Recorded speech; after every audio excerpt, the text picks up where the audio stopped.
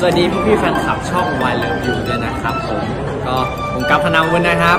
ขอให้ทุกคนนะครับมีความสุขมากในวันปีใหม่นะครับผมคิดได้สมปรารถนาทุกเรื่องเลยนะครับ แล้วก็อะไรที่ไม่ดีเนี่ยก็ทิ้งไว้ปีนี้เราไปเริ่มกันใหม่ปีหน้านะครับผมแล้วก็ขอให้ปีหน้าเป็นปีที่ทุกคนเนี่ยมีแต่ความสุขนะครับไว้เจอกันแน่นะครับ Happy New Year นะครับ